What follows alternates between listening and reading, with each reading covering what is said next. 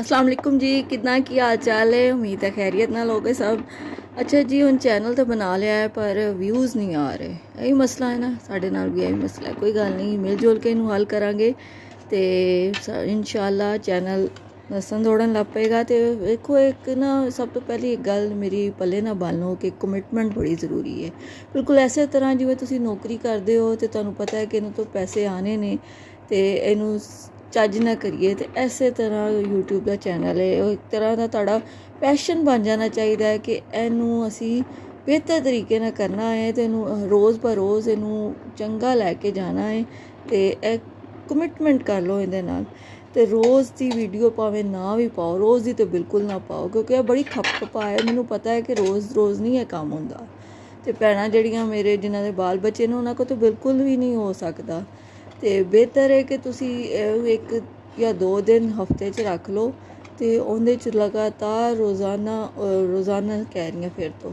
ਇੱਕ ਤਾਂ ਰੋਜ਼ ਰੋਜ਼ ਦਾ ਇੱਕ ਸਿਰ 'ਚ ਪਾ ਲਿਆ ਹੋਇਆ ਹੈ ਕਿ ਜੀ ਰੋਜ਼ ਤੁਸੀਂ ਵੀਡੀਓ ਚੜਾਓਗੇ ਤੇ ਫਿਰ ਹੀ ਤੁਹਾਡੀ ਵਾਇਰਲ ਜਾਏਗੀ, ਐਸੀ ਕੋਈ ਗੱਲ ਨਹੀਂ ਹੈ। ਬਸ ਚੰਗੀ ਜੀ ਵੀਡੀਓ ਹਫ਼ਤੇ 'ਚ ਇੱਕ ਜਾਂ ਦੋ ਦਫਾ ਕਾਫੀ ਹੈ। ਹੁਣ ਵੇਖੋ ਨਾ, ਕੋਈ ਇੰਨੇ ਚੈਨਲ ਬਣ ਗਏ ਨੇ ਤੇ ਰੋਜ਼ ਦੀ ਇੱਕ 7 ਲੱਖ ਵੀਡੀਓ ਅਪਲੋਡ ਹੋ ਰਹੀ ਹੈ YouTube ਤੇ। ਹੁਣ ਆਪੇ ਅੰਦਾਜ਼ਾ ਲਾਓ ਕੌਣ ਸਾਡੀ ਵੇਖੇਗਾ। ਕੋਈ ਇੰਨੀ, ਕੋਈ ਕੁਆਲਿਟੀ ਤੇ ਅਸੀਂ ਦੇ ਨਹੀਂ ਰਹੇ ਹਾਲੇ। ਪਰ ਇਨਸ਼ਾਅੱਲਾ ਮੋਟੀਆਂ ਮੋਟੀਆਂ ਗੱਲਾਂ ਤੇ ਅਮਲ ਕਰੋ ਤੇ ਜ਼ਰੂਰ ਇਨਸ਼ਾਅੱਲਾ ਇੱਕ ਦਿਨ ਕੁਆਲਿਟੀ ਵੀ ਹੋਏਗੀ ਤੇ ਵਾਇਰਲ ਵੀ ਹੋਏਗਾ। ਤੇ ਜੀ ਕਮਿਟਮੈਂਟ ਤੇ ਕੰਸਿਸਟੈਂਸੀ ਯਾਨੀ ਪਾ ਦੇਣੀ ਹੈ ਤੁਸੀਂ ਵੀਡੀਓ ਇੱਕ ਜਾਂ ਦੋ ਹਫ਼ਤੇ ਦੀ। ਛੱਡਣਾ ਨਹੀਂ ਹੈ। ਯਾਨੀ ਹਫ਼ਤੇ ਮਹੀਨੇ 'ਚ ਚਾਰ ਵੀਡੀਓ ਕਾਫੀ ਨੇ। ਇਸ ਤੋਂ ਜ਼ਿਆਦਾ ਮਿਹਨਤ ਕਰਨ ਦੀ ਇਸ ਵਾਸਤੇ ਲੋੜ ਨਹੀਂ ਹੈ ਕਿ ਇਹ ਮਿਹਨਤ ਨਹੀਂ ਹੈ, ਬਸ ਟਾਈਮ ਦਾ ਜ਼ਿਆ ਹੈ। ਬਸ ਇੱਕ ਚੰਗੀ ਜੀ ਵੀਡੀਓ ਹਫ਼ਤੇ 'ਚ ਇੱਕ ਵਾਰੀ ਅਪਲੋਡ ਕਰੋ, ਉਹ ਕਾਫੀ ਹੈ। ਤੇ ਨੰਬਰ 2 ਹੈ ਜੀ, ਤੁਸੀਂ ਆਪਣੀ ਜੋ, ਇਨਸ਼ਾਅੱਲਾ ਤੁਸੀਂ ਆਪਣੀ ਸਕਿੱਲ ਪਾਲਿਸ਼ ਕਰਦੇ ਜਾਓ। ਹਰ ਵੀਡੀਓ ਦੇ ਨਾਲ ਤੁਹਾਨੂੰ ਇੰਪਰੂਵਮੈਂਟ ਤੁਹਾਡੇ ਸਕਿੱਲ ਵਿੱਚ ਆਉਂਦੀ ਜਾਏ। ਯਾਨੀ ਇਹ ਵੀਡੀਓ ਵੀ ਚੜਾਉਣਾ ਇੱਕ ਸਕਿੱਲ ਏ, ਇੱਕ ਆਰਟ ਏ, ਤੇ ਉਹਨੂੰ ਸਮਝੋ ਪਹਿਲੇ। ਉਹਦੀ ਉਹਦੀ ਐਸਈਓ ਜਿਹਨੂੰ ਕਹਿੰਦੇ ਨੇ, ਸੰਜੇ ਸੋਰੀ ਸੰਜੇ ਸਿੰਘਾਨੀਆ ਕਿਥੋਂ ਆ ਗਿਆ? ਸਰਚ ਇੰਜਨ ਆਪਟੀਮਾਈਜੇਸ਼ਨ ਤੋ ਜੀ, ਇਹ ਸਭ ਤੋਂ ਪਹਿਲੇ ਸਾਨੂੰ ਆਪਣਾ ਕੰਮ ਹੋਮਵਰਕ ਤੁਹਾਡਾ ਹੋਣਾ ਚਾਹੀਦਾ ਹੈ ਕਿ ਤੁਸੀਂ ਕਿਸ ਟੌਪਿਕ ਤੇ ਵੀਡੀਓ ਬਣਾਣੀ ਹੈ ਤੇ ਉਹਦੇ ਵਿੱਚ ਕੀਵਰਡਸ ਕਿਹੜੇ ਇਸਤੇਮਾਲ ਕਰਨੇ ਨੇ। ਤੇ ਉਹ ਕੀ ਤੁਸੀਂ ਉਹਦਾ ਕੈਮਰਾ ਵਰਕ ਕਿਹੋ ਜਿਹਾ ਹੋਣਾ ਚਾਹੀਦਾ ਤੇ ਇਹ ਸਾਰੀਆਂ ਚੀਜ਼ਾਂ ਤੁਹਾਨੂੰ ਪਹਿਲੇ ਤੋਂ ਹੀ ਇਹਨੂੰ ਇੱਕ ਜਗ੍ਹਾ ਲਿਖ ਲਓ, ਆਪਣਾ ਸਕ੍ਰਿਪਟ ਲਿਖ ਲਓ। ਬਹੁਤ ਚੰਗਾ, ਸ਼ੁਰੂ ਸ਼ੁਰੂ ਤੋਂ ਜ਼ਰੂਰ ਜ਼ਰੂਰ ਲਿਖੋ ਸਕ੍ਰਿਪਟ ਤੇ ਫਿਰ ਹੀ ਕੋਈ ਤੁਹਾਨੂੰ ਜਿਹੜੀ ਹੈ ਨਾ ਅਵਾਈਟੀ ਬਾਹ ਪੱਲਾ ਫੜਾਏਗੀ। ਨਹੀਂ ਤੇ ਫਿਰ ਐਂਜੀ ਰੋਲਦੇ ਜਾਓਗੇ। तो जी नीश डाउन करना अजकल दो हज़ार चौबी चल रहा है तो क्या ए आई आया होया तो फिर बड़ी छोटी छोटी स्पैसीफिकेशन आ गई हुई है तो नीश तो एक बड़ा सुनिया सी कि मेरी नीश ਤੁਹਾਡੀ ਹੈ ਕਿ ਤੁਹਾਡਾ ਥੀਮ ਕੀ ਹੈ ਚੈਨਲ ਦਾ ਤੁਸੀਂ ਕਿੰਨੇ ਤੇ ਬਣਾ ਰਹੇ ਹੋ ਟੈਕ ਤੇ ਬਣਾ ਰਹੇ ਹੋ ਜਾਂ ਕੁਕਿੰਗ ਤੇ ਵੀਡੀਓ ਬਣਾ ਰਹੇ ਹੋ ਤੇ ਇਹ ਤੁਹਾਡੀ ਨੀਸ਼ ਹੈ। ਪਰ ਹੁਣ ਨੀਸ਼ ਡਾਊਨ ਹੋ ਗਿਆ ਕਿ ਅਗਰ ਕੁਕਿੰਗ ਹੈ ਤਾਂ ਫਿਰ ਇੱਕ ਹੀ ਤਰ੍ਹਾਂ ਦੀ ਰੈਸਪੀਜ਼ ਤੁਸੀਂ ਦਿੰਦੇ ਜਾਓ ਤੇ ਉਹ ਵੀ ਤੁਹਾਡੇ ਚੈਨਲ ਗਰੋ ਕਰਨ 'ਚ ਮਦਦ ਦੇਗਾ। ਮਤਲਬ ਤੁਸੀਂ ਇੱਕ ਸਪੈਸੀਫਿਕ ਆਪਣੇ ਸਬਜੈਕਟ ਵਿੱਚੋਂ ਵੀ ਇੱਕ ਸਪੈਸੀਫਿਕ ਨੁਕਤਾ ਚੁਣ ਲਓ ਤੇ ਉਹਦੇ ਤੇ ਤੁਸੀਂ ਵੀਡੀਓ ਬਣਾਉਂਦੇ ਜਾਓ ਤੇ ਇਨਸ਼ਾਅੱਲਾ ਇਹ ਵੀ ਤੁਹਾਡੀ ਚੈਨਲ ਗਰੋ ਕਰਨ 'ਚ ਮਦਦ ਕਰੇਗਾ। ਅੱਛਾ ਜੀ, ਹੁਣ ਇੱਕ ਜ਼ਰੂਰੀ ਅਹਿਮ ਪੁਆਇੰਟ ਹੈ ਵੀ ਇਹ ਕਿ ਜਿਹੜਾ ਆਪਣੇ ਤੋਂ ਵੱਡੇ ਯੂਟਿਊਬਰਸ ਨੇ ਨਾ, ਮਤਲਬ ਜੋ ਤੁਹਾਡੇ ਚੈਨਲ ਦਾ ਥੀਮ ਹੈ ਉਹਦੇ ਥੀਮ ਤੇ ਬਣਾਉਣ ਵਾਲੇ ਜਿਹੜੇ ਵੱਡੇ ਯੂਟਿਊਬਰਸ ਉਹਨਾਂ ਦੀ ਵੀਡੀਓ ਜ਼ਰੂਰ ਵੇਖਿਆ ਕਰੋ।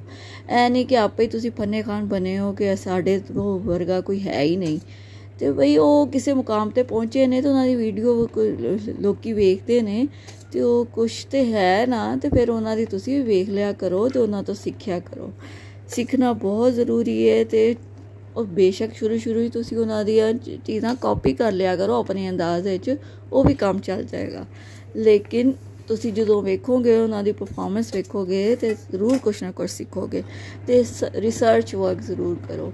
ਆਪਣੇ ਟੌਪਿਕ ਤੇ ਰਿਸਰਚ ਕਰੋ, ਆਪਣੇ ਵੋਕੈਬਲਰੀ ਨੂੰ ਵਧਾਓ ਕਿ ਤੁਸੀਂ ਉਹਨੂੰ ਕਿਸ ਤਰ੍ਹਾਂ ਲੈ ਕੇ ਆਪਣੀ ਵੀਡੀਓ ਵਿੱਚ ਆਪਣੇ ਅਲਫਾਜ਼ ਨੂੰ ਕਿਸ ਤਰ੍ਹਾਂ ਯੂਜ਼ ਕਰਨਾ ਹੈ। ਜਿਹੜੇ ਉਹੀ ਅਲਫਾਜ਼ ਇਸਤੇਮਾਲ ਕਰੋ ਕੀਵਰਡਸ ਜਿਹੜੇ ਕਹਿੰਦੇ ਉਹ ਆਪਣੀ ਐਂਡ ਕਮੈਂਟਰੀ ਵਿੱਚ ਵੀ ਇਸਤੇਮਾਲ ਕਰੋ, ਜਿਹੜੀ ਤੁਸੀਂ ਰਿਕਾਰਡਿੰਗ ਕਰਦੇ ਹੋ। ਤੇ ਉਹ ਇਸਤੇਮਾਲ ਹੋਣਗੇ ਤੇ ਉਹ ਫਿਰ ਆਪੇ ਹੀ YouTube ਜਿਹੜਾ ਨਾ ਉਹ ਕੈਚ ਕਰੇਗਾ ਤੇ ਉਹ ਤੁਹਾਡੀ ਵੀਡੀਓ ਜ਼ਰੂਰ ਇਨਸ਼ਾਅੱਲਾ ਅੱਗੇ ਜਾਏਗੀ। ਤੇ ਜੀ, ਹਰ ਵੀਡੀਓ ਦੇ ਨਾਲ ਕੁਛ ਨਾ ਕੁਛ ਸਿੱਖਦੇ ਜਾਓ। ਐ ਨਹੀਂ ਕਿ ਤੁਸੀਂ ਜਿਹੜੀ ਪਹਿਲੀ ਵੀਡੀਓ ਹੈ ਤੁਹਾਡੀ ਅੱਗੇ ਹੁਣ ਵੀ ਵੀਡੀਓਜ਼ ਤੋਂ ਬਾਅਦ ਵੀ ਉਹੋ ਜੀ ਹੋਈ ਕੁਆਲਿਟੀ ਤੇ ਉਹੋ ਜਿਹੀ ਤੁਸੀਂ ਕੰਟੈਂਟ ਦੇ ਰਹੇ ਹੋ, ਜਿਹਦੇ ਨਾਲ ਕੋਈ ਕੰਮ ਨਹੀਂ ਬਣ ਰਿਹਾ। 10 15 ਵਿਊਜ਼ ਹੀ ਆ ਰਹੇ ਨੇ ਤੇ ਉਹਨੇ ਤੇ ਥੋੜਾ ਕੰਮ ਕਰੋ ਤੇ ਉਹ ਮਸਲੇ ਹੱਲ ਤਾਂ ਹੀ ਹੋਣਗੇ ਕਿ ਜੋ ਇੰਪਰੂਵਮੈਂਟ ਆਏਗੀ। ਤੇ ਇੰਪਰੂਵਮੈਂਟ ਤੁਸੀਂ ਆਪ ਹੀ ਕਰਨੀ ਹੈ, ਕਿਸੇ ਨੇ ਤੁਹਾਨੂੰ ਬਾਹ ਫੜਾ ਕੇ ਨਹੀਂ ਅੱਗੇ ਲੈ ਕੇ ਜਾਣਾ। ਤੁਸੀਂ ਆਪ ਹੀ ਸੋਚਣਾ ਹੈ ਕਿ ਮੈਂ ਕਿੱਥੇ ਗਲਤੀ ਕਰ ਰਿਹਾ। ਗਲਤੀਆਂ ਤਾਂ ਚਲੋ ਹੁੰਦੀਆਂ ਰਹਿੰਦੀਆਂ ਨੇ, ਲੇਕਿਨ ਉਹਨੂੰ ਇੰਪਰੂਵ ਕਰਨਾ ਬਹੁਤ ਜ਼ਰੂਰੀ ਹੈ। ਤੇ ਜਿਹੜਾ ਵਾਈਟੀ ਸਟੂਡੀਓ ਨਾ, ਕਹਿੰਦੇ ਨੇ ਇਹਨੂੰ ਹੱਥ ਨਾ ਲਾਓ, ਉਹਦੇ ਵਿੱਚ ਨਾ ਜਾਓ। ਬਾਰ-ਬਾਰ ਕਿ ਉਹ ਬਾਰ-ਬਾਰ ਤੁਸੀਂ ਕਰੋਗੇ ਤੇ ਤੁਹਾਡੀ ਵੀਡੀਓ ਨੀਚੇ ਜਾਂਦੀ ਹੈ, ਐਸੀ ਕੋਈ ਗੱਲ ਨਹੀਂ ਹੈ। ਭਈ ਉਹਨੂੰ ਵੇਖੋ, ਉਹਨੂੰ ਖੋਲੋ ਉਹਦੇ ਆਪਣੇ ਐਨਾਲਿਟਿਕਸ ਦੇਖੋ, ਜਿਹੜੀ ਵੀਡੀਓ ਜ਼ਿਆਦਾ ਤੁਹਾਡੀ ਰੈਂਕ ਕਰ ਰਹੀ ਹੈ ਉਹਦੇ ਤੇ ਹੀ ਦੁਬਾਰਾ ਉਸੇ ਟੌਪਿਕ ਤੇ ਵੀਡੀਓ ਬਣਾ ਲਓ, ਜਰਾ ਥੋੜਾ ਹੋਰ ਮੁxtਲਿਫ ਕਰਕੇ। ਲੇਕਿਨ ਉਹਨੂੰ ਜ਼ਰੂਰ ਵੇਖੋ, ਉਹਨੂੰ ਫੋਲੋ ਕਿ ਉਹਨੇ ਐਨਾਲਿਟਿਕਸ 'ਚ ਜਾਓ ਕਿ ਕਿਹੜੇ ਉਹਨੇ ਸਪਾਈਕਸ ਮੂਵਮੈਂਟ ਨੇ। ਉਹ ਉਸ ਟੌਪਿਕ ਤੇ ਬਣਾ ਲਓ ਕਿ ਚੀਜ਼ ਸੁਜੈਸਟ ਕਰ ਰਹੀ ਹੈ, ਉਹ ਕਿਹੜੇ ਵਰਡ ਸੁਜੈਸਟ ਕਰ ਰਹੀ ਹੈ। ਉਹਦੇ ਤੇ ਨਵੇਂ ਵੀਡੀਓ ਬਣਾ ਲਓ, ਇਸ ਤਰ੍ਹਾਂ ਤੁਹਾਨੂੰ ਟੌਪਿਕ ਵੀ ਮਿਲ ਜਾਏਗਾ ਕਿ ਅਤੇ ਫਿਰ ਇਹ ਤੁਹਾਡੇ ਚੈਨਲ ਵਾਸਤੇ ਵੀ ਬਿਹਤਰੀ ਹੋਏਗੀ, ਕਿਉਂਕਿ ਉਹ ਐਵੇਂ ਨਹੀਂ ਵੀ ਸਟੂਡੀਓ ਵਾਈਟੀ ਸਟੂਡੀਓ ਬਣਿਆ ਹੋਇਆ, ਉਹਨੂੰ ਐਨਾਲਾਈਜ਼ ਕਰਨ ਵਾਸਤੇ ਉਹ ਬਣਾਇਆ ਗਿਆ ਹੈ। ਤੇ ਉਮੀਦ ਹੈ ਕਿ ਇਹ ਤੁਹਾਨੂੰ ਵੀਡੀਓ ਜਿਹੜੀ ਹੈ ਨਾ, ਚੰਗੀ ਲੱਗੇਗੀ ਤੇ ਇਹਦੀ ਮੇਰੀਆਂ ਗੱਲਾਂ ਤੁਹਾਡੇ ਥੋੜੇ ਜਿਹੇ ਪੱਲੇ ਪੈ ਜਾਣਗੀਆਂ।